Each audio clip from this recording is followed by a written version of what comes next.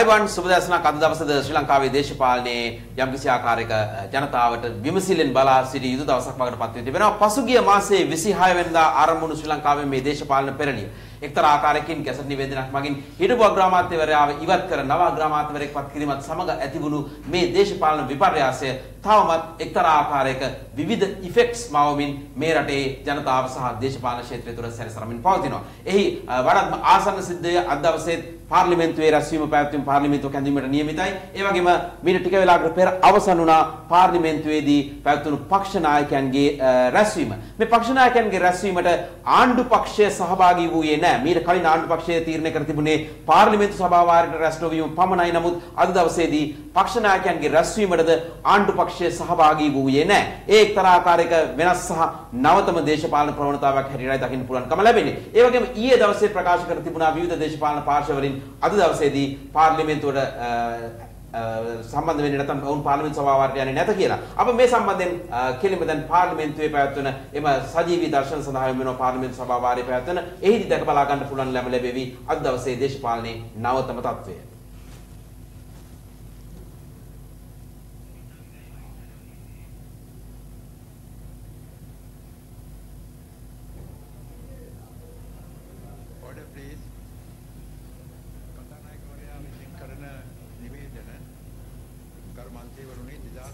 නොවැම්බර් මාස 17 වෙනි බදාදා 15 වෙනි බ්‍රහස්පතින්දා සහ 16 වෙනි සිකුරාදා දිනයන්හි පාර්ලිමේන්තු මන්ත්‍රී රැස්වීම පවත්වන ලැබී අවස්ථාවලදී සභා ගර්භය තුළ ඇති වූ සිද්ධීන් සම්බන්ධයෙන් විමර්ශන කටයුතු පොලිසිය විසින් දැනටමත් සිදු කරමින් සිටින බවත් ඊට අමතරව එම සිද්ධීන් පිළිබඳව අභ්‍යන්තර පුළුල් විමර්ශනයක් පැවැත්වීමට හැකිවන පරිදි පාර්ලිමේන්තුවේ නියෝජ්‍ය කතානායක ගරු ජේ මානන්ද කුමාරසිරි මහතාගේ සභාපතිත්වයෙන් යුත් එවාගේම හිටපු කතානායක ගරු චමල් රාජපක්ෂ ගරු මැත්තුමා එවාගේම ගරු රංජිත් මන්දුම් බණ්ඩාර මැත්තුමා සහ ගරු චන්දසිරි ගජදිරි මැත්තුමා සහ ගරු බිමල් රත්නායක සහ ගරු මාවේ සේනාධිරාජන මහත්වරුන්ගෙන් සම්බන්ධිත කමිටුවක් මා විසින් පත්වන ලද බවත් එම කමිටුවේ වාර්තාව හැක ඉක්මනින් මෙම ගරු සභාවට ඉදිරිකර කිරීමට අපේක්ෂා කරන බවත් කාරුණිකව දැනුම් දීමට කැමැත්තෙමි.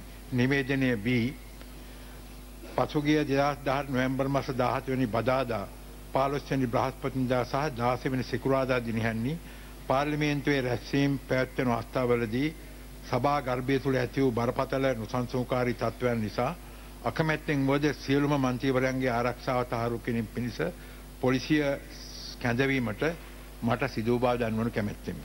තවද පාර්ලිමේන්තුවේ සියලුම පාර්ලිමේන්තු මන්ත්‍රයා විසින් සභා ගර්භය තුළ හෝ පාර්ලිමේන්තු සභාගර්භ ආලිජයන් තුළ ආරක්ෂාව පිළිබඳ තහවුරුවක් මාහට ලබා දෙන්නේ නම් ඉතාමත්ම ඉක්මනින් සභාගර්භය කටයුතු සම්බන්ධයෙන් අතිරේකසේ පොලිසිය ලහබ ගැනීම වහාම නැැත්වීමට මා පිවර ගන්නා බවද මෙම සභාවට දැනුන්දීමට කැමැත්තෙමි. අධදින පාර්ලිමේන්තුවේ රැස්වීම් පැත්තුතු කාලවේලාව මෙම සභා විසින් චේකනු ලැබියවෙතිය. එනිසා කාලේ කොපමට අවශ්‍ය කියනක ම දැනුවත් කොට ම අවස්ථාවේ ආරාධනා කරනවා How long do you want to continue? On the වැඩකටයුතු හමාරුවෙන්තෙක් සර්. සභායකද? ආයි. අද දින පූර්භාග 9ට මාගේ නිලකාමරදී පැවති පක්ෂ නායක රැස්වීමේදී එකඟ වූ පරිදි 2018 නොවැම්බර් මාස 30 වෙනි සිකුරාදා පූර්වභාග 10:30ට පාර්ලිමේන්තු රැස්වීම පැවැත්වීමට මෙම සභාව තීරණය කරනු ලැබීය. සභාව එක්ගද? Yeah. Then this morning I had a delegation led by Honorable Dinesh Gunawardena who raised, the, who raised the issue about this uh, matter being motion being sub judice. So in this connection I have already explained uh, uh, my position on the matter uh, because especially the matter before the House today is not with regard to any minister, state minister, deputy minister, but with regard to the secretary to the prime minister. This House has already ad adopted motions of no confidence against the government and the adoption of such resolution or motion of no confidence cannot be challenged or disputed in any other forum. The motion before the House today is a matter which arises consequent to the adoption of the no confidence motions. What is sought to be debated today is not the matter under consideration by the Court of Appeal. As such, there is no impediment to this motion being debated in the House. In any event, the proceedings in this Court of Appeal are not in the nature of a trial before an original court, and I am of the view that no real substantial danger or prejudice would be caused to the outcome of those proceedings by this House debating this motion. In any case, there is no case pending relating to the payment of expenses in the Prime Minister's office. Therefore, I am also convinced, having consulted expert constitutional lawyers in the country, that this matter does not fall within the purview of the Article 152 of the Constitu- Constitution. Therefore, as such, I permit this motion to be de- debated by the House today.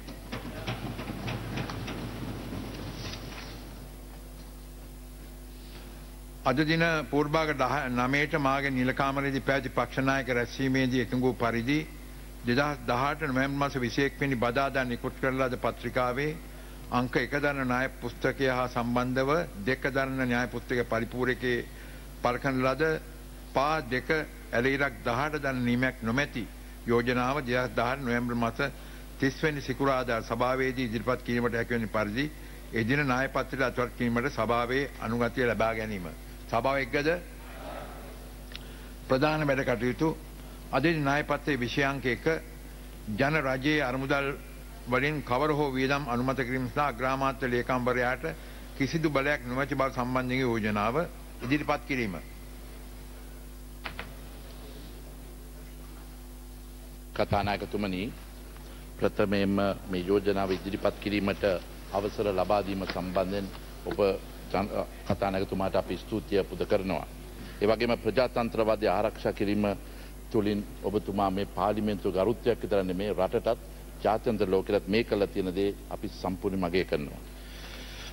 මේ කතා කරන මොහොතේ අපේ ප්‍රතිවිරුද්ධ කණ්ඩාම අය නැවත මෙතන අ, යම් විදිිය වර්ජනයක් කරනවා. මම මේ යෝජනා විදිරිපත් කිරීමට පෙර කෙහෙදිය රඹුක් කල්ල මන්තතුමා සැප්තැම්බර් මාසේ නොයම්බර් මාසේ දහවින්දා කියපු දෙයක් ම උපුටා ගන්නවා. UPFA doesn't have majority admits Keheliya. ඒවගේම දිවයින පත්තරේ දවස් හතරකට ඉස්සල්ලා SP දිසානායක මෙසේ කියනවා. එකසිය දහතුනක් තව දවස් හතරකින්. අද දවස් පහ වර්ජනය කිරීමෙන් පෙනෙනවා බහුතරය කොතන තියෙන කියලා කතා නැකරමන. ඒක තුළින් මං ඉදිරිපත් කරන්නේ මේ යෝජනාව.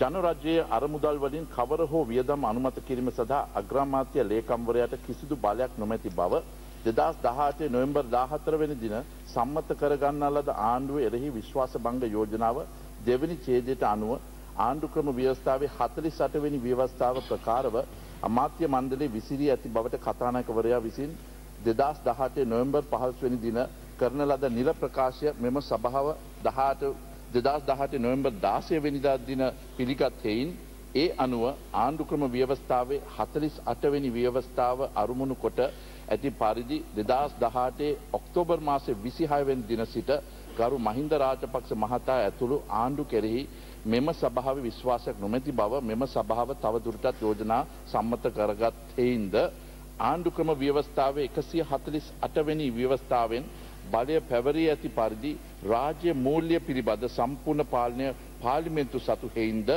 ඊට අනුකූලව දෙදස් දහටේ නොවම්බර් පහළොස්වනි දින සිට ජනරදයේ අරමුදල් වෙතින් කිසිදු වියදමක් අනුමැත කිරීමට අග්‍රාමාත්‍ය ලේකම්වරයට කිසිදු බලයක් නොමැති බවටත් මෙම යෝජනාව සම්මතය උල්ලංඝනය කරමින් කවර හෝ ක්‍රියාමාර්ගයක් ගන්නා කවර හෝ තැන් තැනෙත්තෙකුට එරහිව නීතිමය පියවර ගනු ලබනු ඇති බවත් මෙම පාලිමෙන්තිය යෝජනා සම්මත කරමි. මේකෙන් ව්‍යවස්ථාවේ එකසිය හතලි සට වගන්ති අතද තිබෙන්නේ රාජ්‍ය මූල්‍ය පිළිබඳ සම්පූර්ණ පාලනය පාලිමිතු සතු වන්නේය. පාලිමේන්තුවේ විසින් සම්මත කරනු ඇති නීතියක් හෝ පවත්වා යම් නීතියක් හෝ අධිකාරය අනුව හෝ ඒ යටතේ හෝ මිස කිසිම පළත් පාලන ආයතනයක් විසින් හෝ වෙනත් පොදු අධිකාරයක් විසින් හෝ කිසිම බද්දක් වරිපනක් හෝ වෙනත් යම් කිසි බදු විශේෂයක් නියම කිරීමට බල බලය නොමැත්තේය.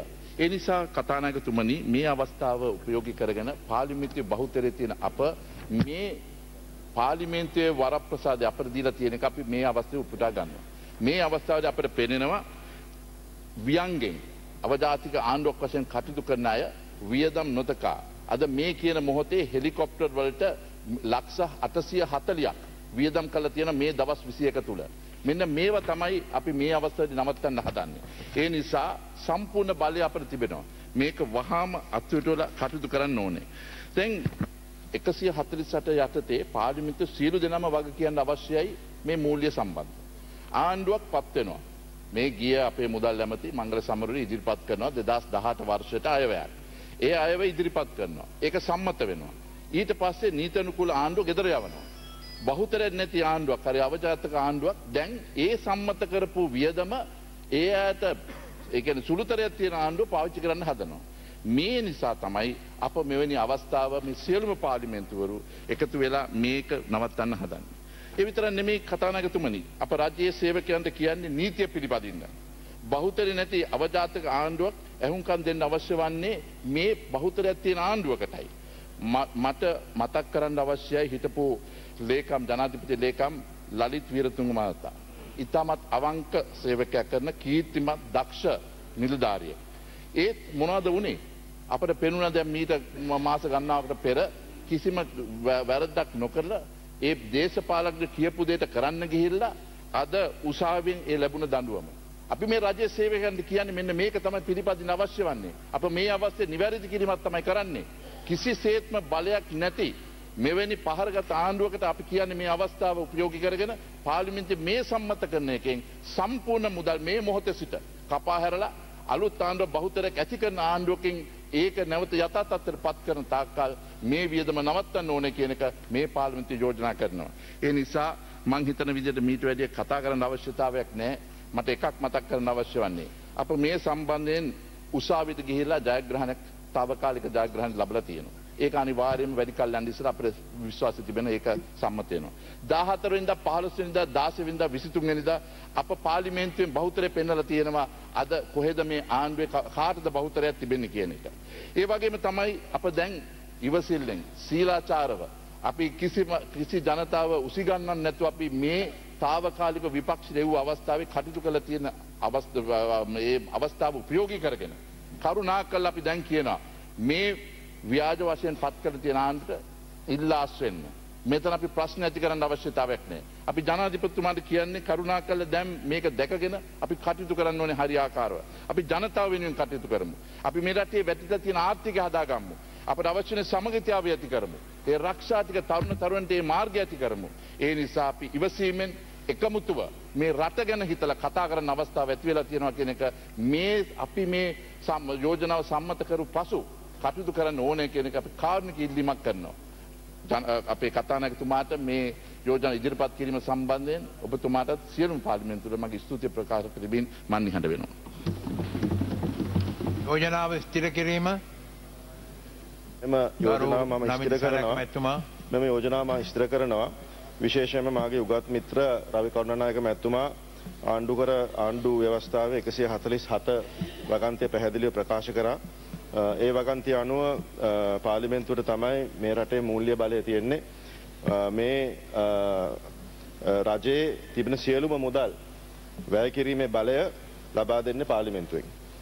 නමුත් මම කැමති සමහර කට්ටිය අද අපගේ යෝජනාව සම්බන්ධව වැරදි චිත්‍රයක් අර්ථ නිරූපණය කරන්න හදනවා. විශේෂයෙන්ම ස්ටන්ඩිං ෝඩ එකසිය තිස් තුන යටතේ ගරු කතානායකතුමැති මෙහෙම සඳහන් වෙනවා. ජනරජයේ ඒකාබද්ධ අරමුදලෙන් හෝ වෙනයම් අරමුදලක්. අරමුදල් වලින් හෝ ගෙවිය යුතු මුදල් වියදම් කිරීමට හෝ ගෙවිය යුතුයේ වියදම් නියම කිරීමට නැතහොත් කිසියම් බද්දක් පැනවීමට හෝ පනවා එවකට වලංගුව තිබෙන බද්දක් අවලංගු කිරීමට. හෝ වැඩි හෝ අඩු කිරීමට බලය පවරණ යෝජනාවක් පනත් කෙටුම් පතක් හෝ පනත් කෙටුම් පතකට කරන සංශෝධනයක් අමාත්‍ය මණ්ඩලය අමාත්‍යවරයකු විසින් කළ යුතුයි. නමුත් මෙතන ගරු කතානායකතුමනි පැහැදිලි වෙන්නේ ඒකාබද්ධ අරමුදලෙන් නෙවෙයි. මෙතන අපි පැහැදිලිව ප්‍රකාශ කරනවා අපි මෙම යෝජනාව ඉදිරිපත් කරන්නේ වෝට්ටයකට වෑශීර්ෂයකට. ඒ වගේම අගමැත්තුමාගේ ලේකම්ගේ වෑශීර්ෂයට තමයි අපි මේ යෝජනාව ගේන්නේ. එම නිසා ඔබතුමා සඳහන් කර පරිදි මෙය සම්පූර්ණයම නිත්‍යානුකූලයි මේ කිරීමට අපිට බලයක් තියෙනවා. ඒ වාගේම අපි පැහැදිලිව ප්‍රකාශ කරනවා ඔබතුමත් පැහැදිලිව සක්ෂදක්ෂය ඔප්පු කරලා තියෙනවා. අද මේ ආණ්ඩුවට බහුතරයක් නැති බව. එම නිසා බහුතරයක් නැති ආණ්ඩුවකට රටක් ඉදිරියට ගෙනියන්න බෑ. එම නිසා අපි ඉල්ලනවා. සදාචාර ලෙස මේ ආණ්ඩුවට ඉල්ලා අස්වෙන්ඩ. අද දිනෙන් පසු ඒක තවත් ඔප්පු එක යමා සිතනවා. ඒවාගේම නිරන්තරයෙන්ම ඔබතුමා ගන්නා මේ ස්ථාවරය සම්බන්ධයෙන් විශේෂයෙන් අපි ප්‍රකාශ කරා මේ පාර්ලිමෙන්තුවේ ඉන්න විපක්ෂය මන්ත්‍රීවරු සියලු දෙනාම ඔබතුමා මේ ගන්නා ප්‍රයත්නයට ඔබතුමාට මට ගහනවා. ඔබතුමාගේ කීර්තිනාමයට නොයෙකුත් චෝදනා එල්ල කරනවා. අපි ඒක සම්පූර්ණයෙන්ම ප්‍රතික්ෂේප කරනවා. අද දිනත් අපිට පැහැදිලි බහුතරයක් තිබෙන බව අපි පැහැදිලිව ඔබතුමාට කියන්න කැමති. එම නිසා නැවතත් අපි ඔබතුමාට අපගේ ස්තුතිය ප්‍රකාශ කරමින් අද මෙම යෝජනාව මා නැවතත් ස්ථිර කරනවා. බොහොම ස්තුතියි. ඊළඟට අදහස් දැක්වීමේ අවස්ථාව ඒ සම්බන්ධයෙන් අදහස් දැක්වීමට මට වෙලාව ලබා දෙන්න පුළුවන්.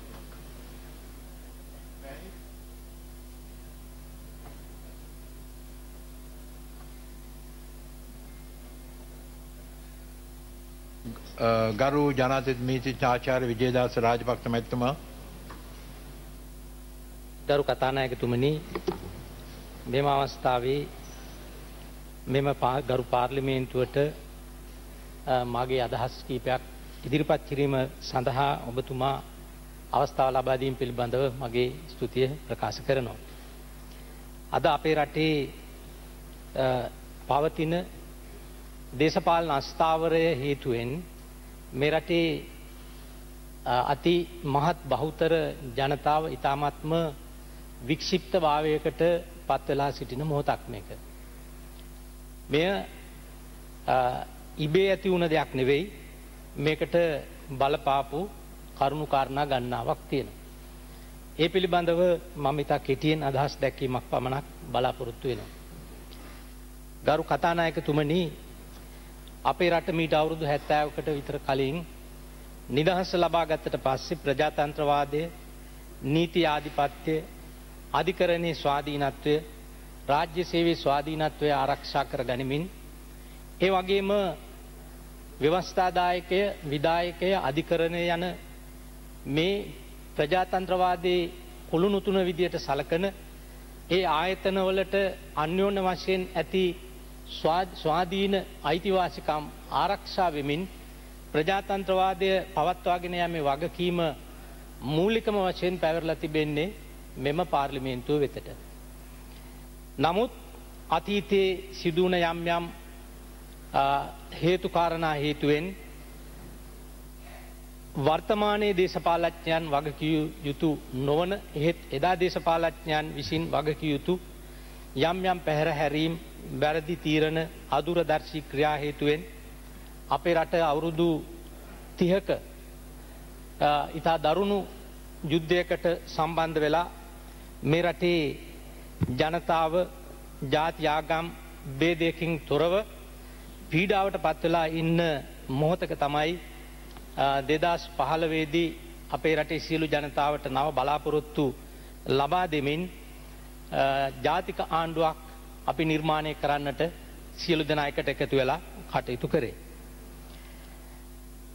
එදායේ පැවති යුද්ධය නිසා මේ රටේ ත්‍රවිධ හමුදාව පොලිසිය රණවිරුවෝ විසි අත්දාහක් විතර ජීවිත පූජා කරලා තියෙනවා අපේ රටේ ශ්‍රී ලාංකික පුරවැසියෝ හැටදාහක්ගේ විතර ජීවිත බිලිගත්ත ඒ අවාසනාවන්ත තත්ත්වයක් නැවතත් මේ රටේ ඇති නොවීමට වගබලා ගැනීම මේ ආණ්ඩුව නිර්මාණය කිරීමේදී රටේ ජනතාවට අපි සියලු දෙනා දුන්න එක පොරොන්තුවක්. අවුරුදු තිය යුද්ධය නිමාවීමෙන් පස්සේ අපේ රටේ දෙදස් නමේ වසර පටන් සාමකාමී පරිසරයක් පවතින කාල වකවානුව තුළ මේ රටේ ආර්ථික සංවර්ධනයක් රටේ ජනතාවගේ අයිතිවාසිකම් මූලික අයිතිවාසිකං ආරක්ෂා කිරීමක් අධිකරණය ස්වාධීනත්වය ජනාදී බොහෝ දේවල් අපි බලාපොරොත්තුනාට ඒ දේවල් ඒ ආකාරයට ඉෂ්ට නොවන නිසා. ප්‍රජාතන්ත්‍රවාදයට බරපතල තර්ජන එල්ලවී තිබුණ නිසා මේ රටේ ඉතිහාසය මෙතෙක් නොවන ආකාරයේ වෙනත් ස්වරූපයේ විප්ලවයක් කිරීමට මේ රටේ ජනතාව ආශිර්වාදය ලබා දුන්න. ඒ අනුව තමයි එක්සත් ජාතික පක්ෂයේ නායකතුමා විදිහට ගරු රනිල් වික්‍රමසිංහ මැතිතුමා ප්‍රධාන කොටගෙන එදා ආණ්ඩු බලය පැවති එක්සත් ජනතා නිදහස් සන්ධානයේ මූලික ප්‍රධාන කොටස්කරුණ ශ්‍රී ලංකා නිදහස් පක්ෂයේ මහලේකන් තනතුරු හෙබවපු අතිකරු මෛත්‍රීපාල සිරිසේන මැතිතුමා පොදු අපේක්ෂකයා වශයෙන් පත්කරගෙන විශේෂෙන්ම එක්සත් ජාතික පාක්ෂිකයන් විසින් විශාල කැපකිරීමක් කරමින් එතුමා මේ රටේ ජනාධිපතිවරයා විදිහට පත්කරගනු ලැබුවේ. එතුමාගේ ජයග්‍රහණය තුළ මේ රට නව දිසානතියකට ගමන් කරාවී කියන සුභවාදී බලාපොරොත්තු පොදි බැඳගෙන තමයි එදා රටේ ජනතාව එතුමාට චන්දය ලබා දුන්නේ.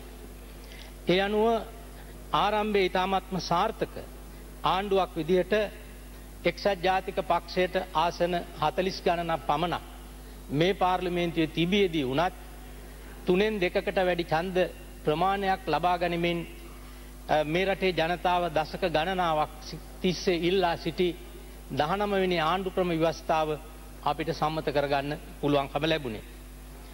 ඒ සඳහා එක්සත් ජාතික පක්ෂයේ නායක විදිහට ගරු රනිල් වික්‍රමසිංහ අග්‍රාමාත්‍යතුමා නායකත්වය දුන්න වගේම මේ අවස්ථාවේදී අපි සීපත් කරනවා අතිකරු ජනාධිපති මෛත්‍රීපාල සිරිසෙන මැතිතුමත් මීට පෙර සියලුම බොහොමයක් ජනාධිපතිවරුන් පොරොන්දු දුන්න නමුත් ඉටු නොකළ පොරොන්දු ඉටු කිරීමට එතුමා එකඟතාවය දැක්වා විදායක ජනාධිපති බලතලවල විශාල ප්‍රමාණයක් ජනමත විචාරණයකින් තොරව ඉවත් කළ හැකි බලතල ප්‍රමාණයක් එතුමා ඒ නිලයෙන් ඉවත් කරලා එක පැත්තකින් අමාත්‍ය මණ්ඩලයටත් ව්‍යවස්ථාදායක සභාවටත් ස්වාධීන කොමිෂන් සභාවලටත් බෙදා හැරීමට ඒ දහනම්මවෙනි විවස්ථාවේදී ව්‍යවස්ථා සංශෝධනයේදී අපිට හැකියාව ලැබුණා.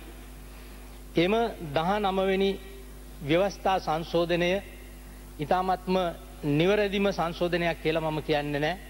ලෝකේ අංග සම්පූර්ණ වූ නිවැරදි වූ ආණ්ඩු ක්‍රම විවස්ථාවක් අපිට දකින්න කවදාවත් ලැබින්නේ නෑ.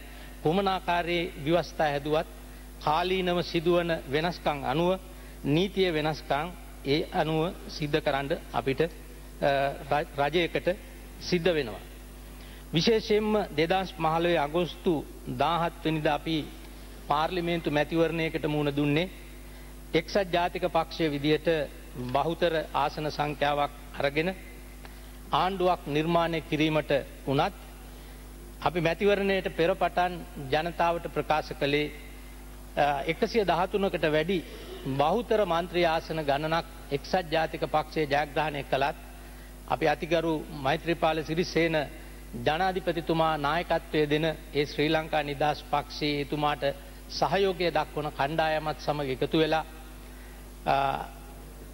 ජාතික ආණ්ඩුවක් මේ පාර්ලිමේන්තුව තුළ නිර්මාණය කරනවා කියලා.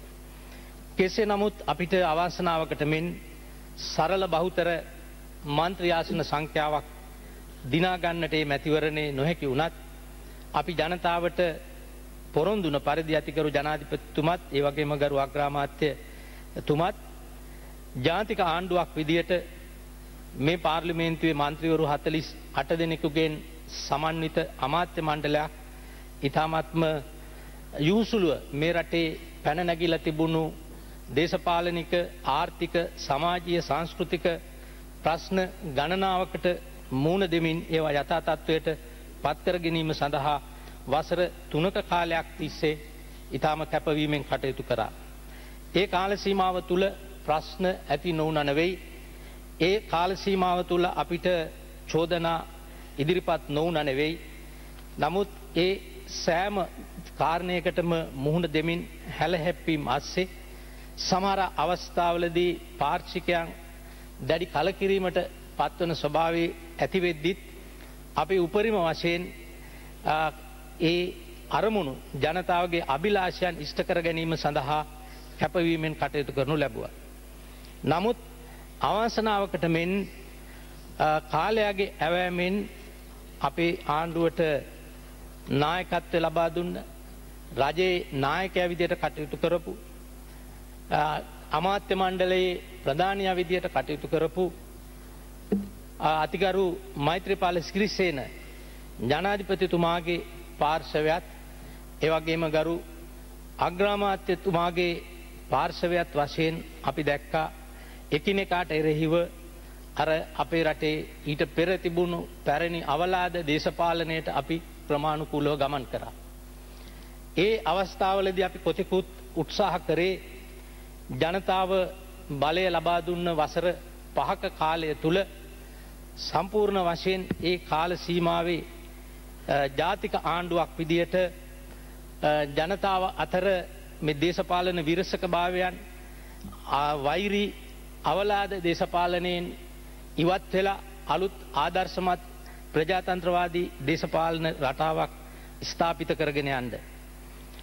නමුත් මේ අවස්ථාව කිව යුතුයි ඒ කණ්ඩායන් දෙකට නායකත්වය ලබා දුන්න අතිකරු ජනාධිපති මෛත්‍රපාල සිරිසේන මැතිතුමාටත් ගරු අග්‍රාමාත්‍ය රනිල් වික්‍රමසිංහ මැතිතුමාටත් තම තමන්ගේ කණ්ඩායන් දෙක සංයමයකින් යුතුව හසුරුවා ගැනීම කටයුතු කිරීමට නොහැකි වුණා ඒ කාරණයේදී ඒ දෙපළම අසමත් වනයි කියන කාරණය මතක් කළ යුතුව තිබෙනවා.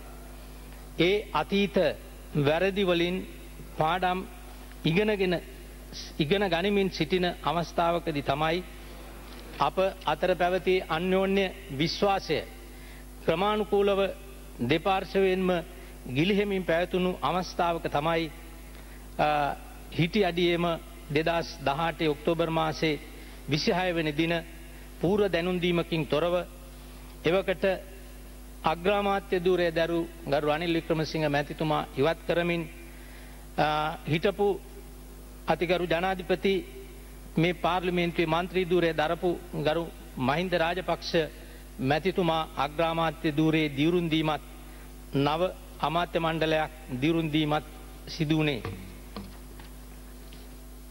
මේ වන විට එම ක්‍රියාදාමෙන් අනතුරුව පාර්ලිමේන්තුව කල් අවසාන් වාර අවසාන් කර කල් තැබීමක් ඒවගේම පාර්ලිමේන්තුව විසිරුවීමට නියෝගයක් ලබාදී එය ගැසට් පත්‍රය පල කිරීමත් සිද්ධ වුණා.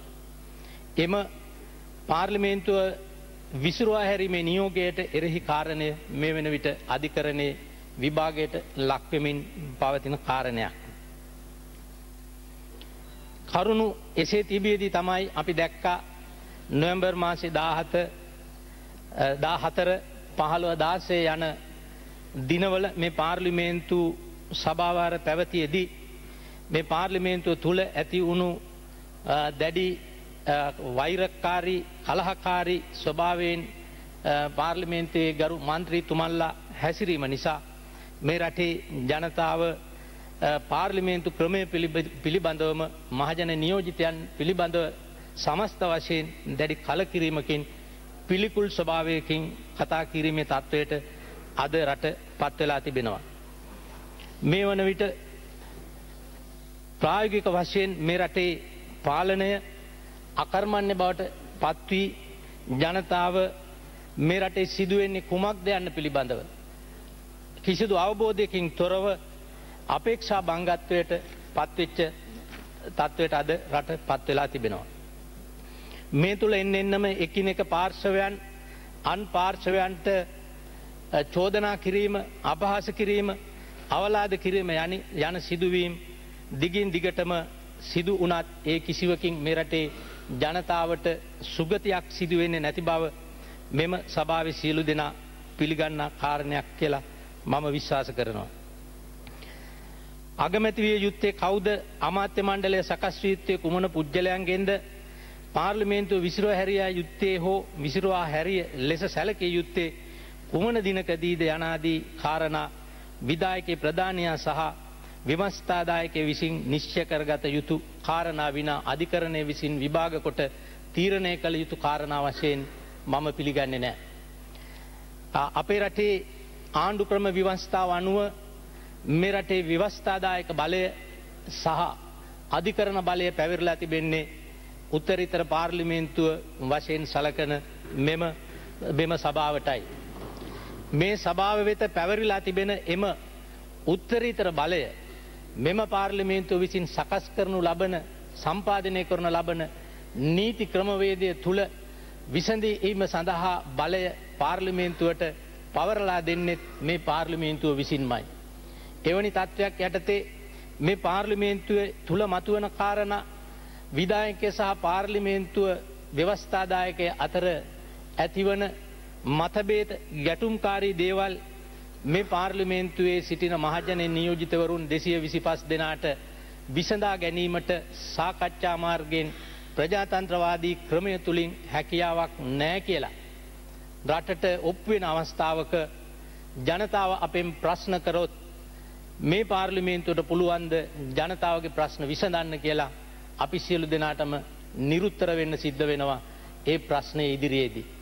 ඒක නිසා මෙවැනි ප්‍රශ්න අධිකරණයට විසඳීමට තීන්දු තීරණ ගැනීමට ලබාදීම තුළින් සිදුවන්නේ මේ පාර්ලිමේන්තුව හැල්ලුවට ලක්වීමක් මිසක් රටේ ප්‍රශ්න විසඳීමක් නෙවෙයි.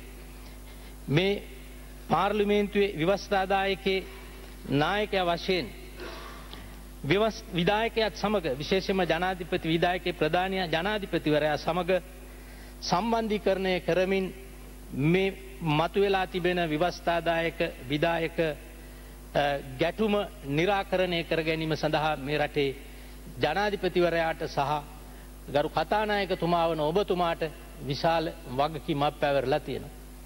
අද රටේ මතුවෙලා තියෙන තත්ත්වය විදායකය විසින් නිකුත් කරනු ලබන විධානයන් ව්‍යවස්ථාදායකය පිළි නොගන්න තත්ත්වයට පත්වීම තුළත් ව්‍යවස්ථාදායකය විසින් සම්මත කරගනු ලබන යම් යම් යෝජනා විදායකය විසින් පිළි නොගන්නා තත්ත්වයට පත්වීම තුළ අපි දකිනවා ප්‍රජාතන්ත්‍රවාදය ඒ ස්ථානයම ඇනහිටපු තත්ත්වයක් කොන්ස්ටිටියෂනල් ඩෙඩ්ලොක් එකක් ව්‍යවස්ථාදායක හිරවීමක් මේ රටේ සිද්ධ වෙලා තිබෙනවා.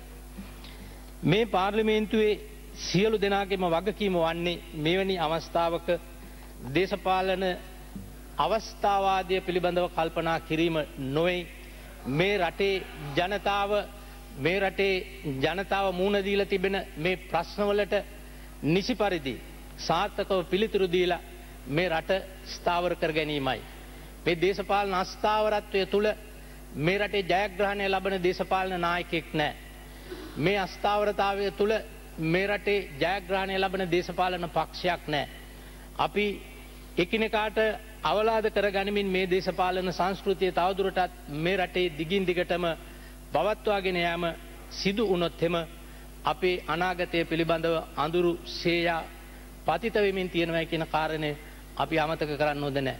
විශේෂයෙන් අද මේ ප්‍රජාතන්ත්‍රවාදී පාර්ලිමේන්තුව තුළ සිදුවන දෑ පිළිබඳව අපි රටේ තරුණ පරම්පරාව දක්වන අදහස් ඒ උදවිය කතා කරන දේවල් අහල බලපුහම අපිට පැහැදිලිව පෙනෙන්ට තිබෙනවා මේ ක්‍රමය ප්‍රතික්ෂේප වන දිනය අතළඟයි කියලා.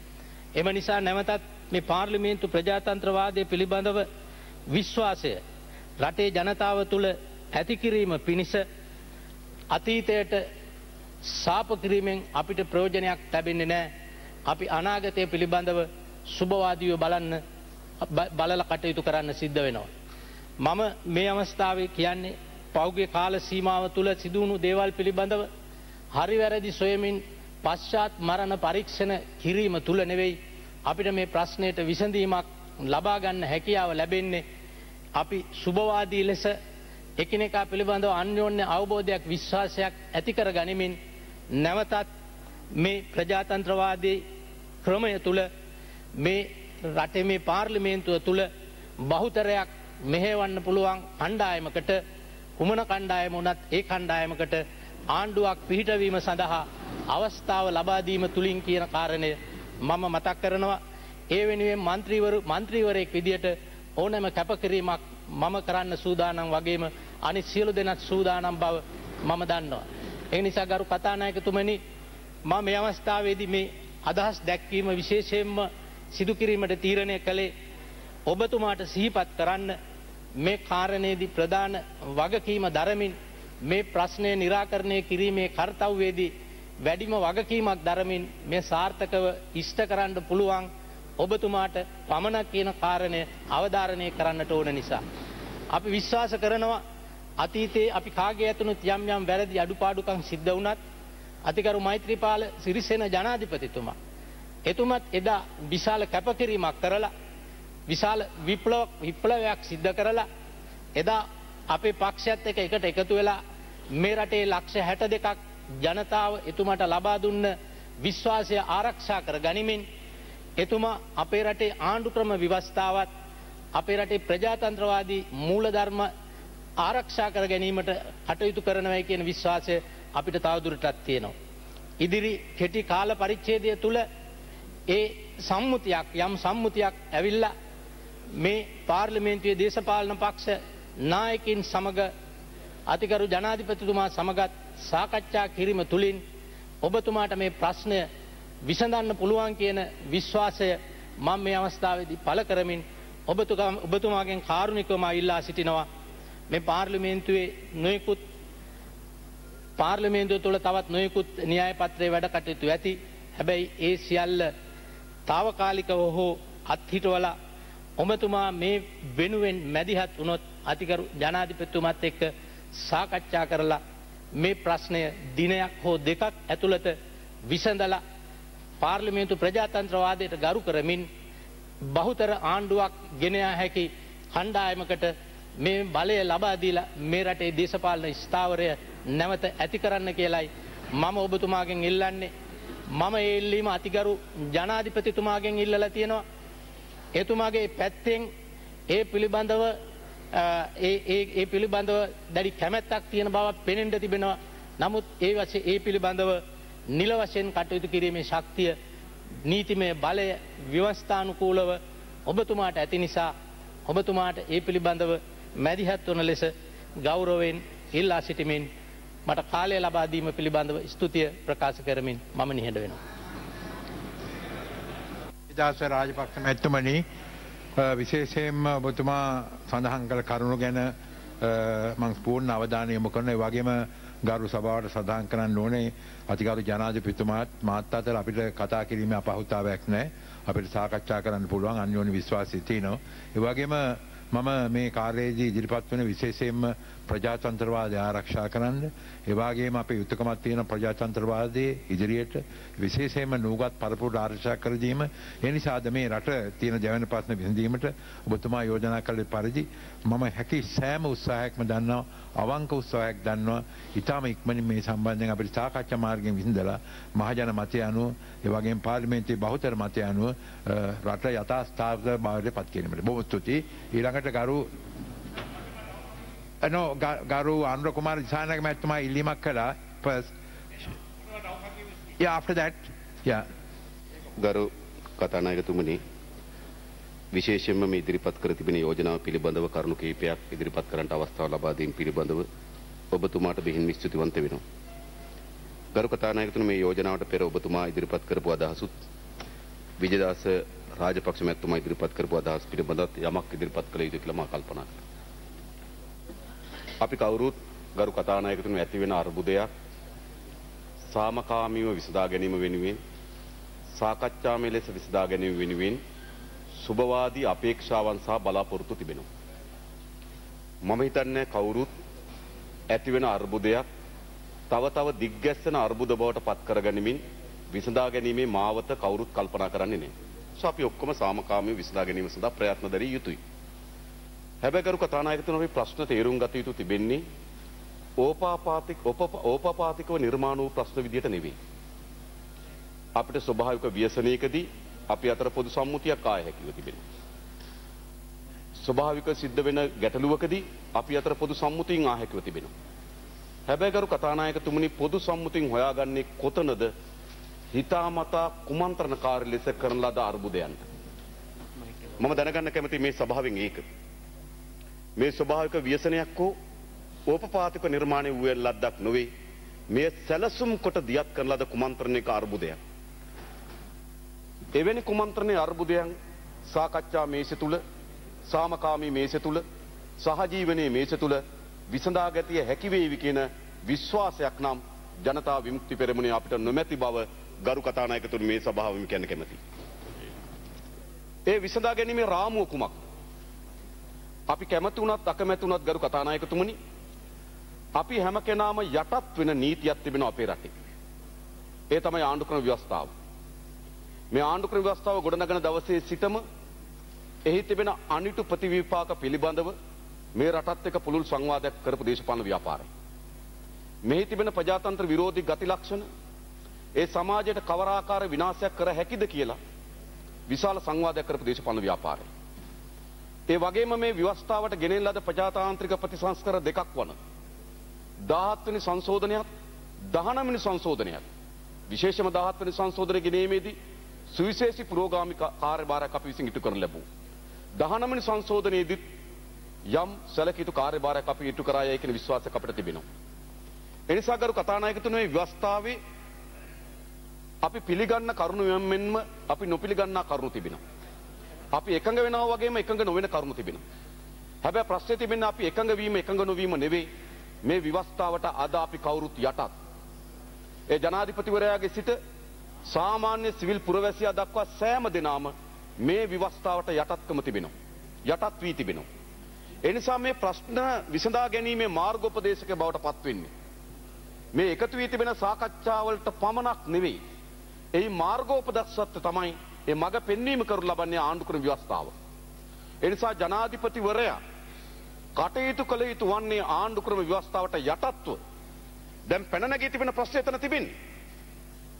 ජනාධිපතිවරයාගේ සිට සෑම පුරවැසියෙකුටම තමන්ගේ ක්‍රියාකාරීත්වය පිළිබඳ සීමා මායිම් හඳුන්වා දී තිබෙන විවස්ථාවක් තිබියදී ඒ විවස්ථාව කිසිසේත්ම සැලකිලට භාජනය නොකොට ඒ විවස්ථාව පිළිබඳ කිසිසේත්ම අවධානයට ලක් නොකොට තමගේ හිතුවක්කාරි තක්කඩි වමනාවන් වෙනුවෙන් කටයුතු කිරීම තමයි මේ අර්බුදයේ පතුලේ තිබෙන හරය. එනිසා කරු කතානකතු අපි කියන්නේ ජනාධිපතිවරයා සමග මම හිතන්නේ ඔබතුමා සාකච්ඡා කරත් මට කමක් නැහැ. තව අය සාකච්ඡා කරත් කමක් නැහැ. සාකච්ඡාවට අතරමැදියන් සම්බන්ධ වුණත් අපිට ප්‍රශ්නයක් නැහැ. හැබැයි ජනතාව විමුක්ති කරගෙන අපි නම් කිසිවක් ඔහු සමග සාකච්ඡා කරන්නේ නැහැ. ඒක මතක තබන්න. මොකද කරු කතානායකතුමනි සාකච්ඡාවලදී ලැබෙන ප්‍රතිඵලයන් තිබෙනවා. අපි දන්නවා ඒක. එකිනෙකා අතර තිබෙන අනවබෝධය සාකච්ඡාරා විසඳ ගන්න පුළුවන්. එකිනෙකා අතර තිබෙන ප්‍රශ්නයක් පිළිබඳ තිබෙන දුර ඒ ප්‍රශ්නයේ තිබෙන ගැඹුර එකිනෙකාට සාකච්ඡාරා විසඳ ගන්න පුළුවන්. ද සාකච්ඡා මේසේ විසඳාගත හැකි ප්‍රශ්න තිබෙන බව ඒ අද දවසේ පාර්ලිමේන්තුවේ පැවැත්වෙන සභාවාරය අතරතුරදී අප ලබාගත් විශේෂ දර්ශන මේ සම්බන්ධයෙන් තවත් තොරතුරු ලැබුණු වහාම මේ දේශපාලන ක්ෂේත්‍රයේ නවත් නවතම තොරතුරු වාර්තා වුණු වහාම නිවුස් ෆස්ට් ඔබ වෙනුවෙන් සියල්ල ගෙනෙන සූදානම් සිටිනවා. අප දැන් මේ අවස්ථාවේදී අපගේ සුපුරුදු වැඩසටහන් කරා නැවතත් යොමුවෙන්න බලාපොරොත්තු